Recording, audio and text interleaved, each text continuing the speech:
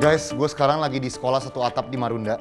Yang kalian jelasnya sudah lihat ya di episode Mata Najwa kemarin, yang Batu Bara dan Marunda. Batu bara yang di belakang sekolah kami. Oh langsung ya Bu itu? Iya. Ini nggak ada 500 meter kayaknya tuh Mbak Nana. Udah bentukannya kayak gunung-gunung kayak gitu. Saya membayangkan kalau yang murid-murid yang lebih kecil itu juga pasti dampaknya atau efeknya terasa, lebih terasa buat mereka ya, Bu? betul betul. Gue mau ngelakuin sesuatu, jadi gue kontak tim nafas. Karena gue bener-bener em, peduli nih sama keadaan di sini dan anak-anak yang sekolah di sini. Guys, ini Piotr dari Nafas. Halo.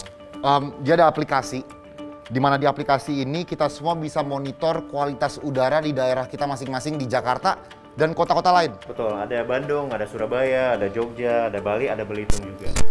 Ini sambil dipasang aja nih berarti ya. Iya, betul. Kita dipasang di sini. Kan kemarin Mbak Nana ke yang rusun sama yang sekolah. Iya, iya. Kenapa kita pilih pasangnya di sekolah nih daripada di Karena kalau kita lihat distance-nya dari hal-hal yang ini yang paling dekat di sini. Oh. Jadi, jadi kalau anginnya datang dari laut, jaraknya paling dekat di sini? palingnya dekat di sini.